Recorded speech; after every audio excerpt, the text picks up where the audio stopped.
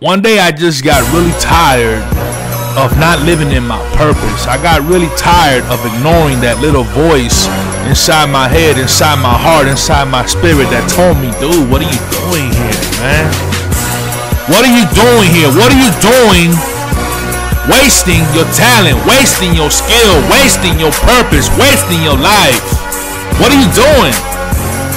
And I'm not saying that whoever's standing at that door right now listening to me is wasting their life. It may be your purpose in life to serve others in that capacity. I don't know. I can't speak for you. I'm speaking for myself. That was not my purpose. That was not my calling. That was not my duty. That was not my responsibility. My responsibility was to wake up every single day and living inside of my purpose, and I wasn't doing that during that time.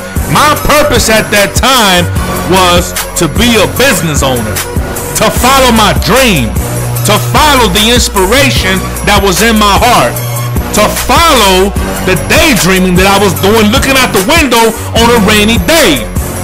It was my job to turn that into a reality. It is your job to turn your daydreaming into a reality before that window closes. That window of opportunity will not stay open forever. Stop taking that window of opportunity for granted. It will not stay open forever. The universe has a way of shutting it down. Trust me, it does it has a way of shutting it down and saying, you know what? Since you won't listen to the voice, since you won't listen to your heart, to your spirit, to your calling, I'm gonna give this gift to somebody else.